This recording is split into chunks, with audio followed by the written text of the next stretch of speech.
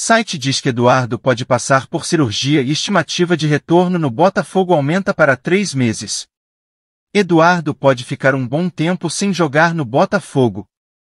Após informar que o meia ficaria um mês parado, o site UGF publicou nesta sexta-feira que a lesão muscular na coxa direita é mais grave e o meia de 34 anos pode ficar três meses parado.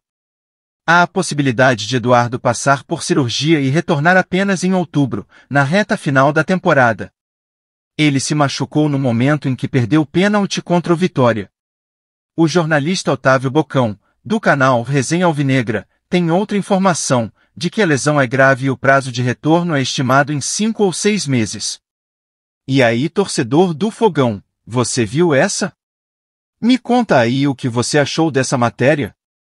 Na sua opinião, Eduardo vai fazer falta ao elenco?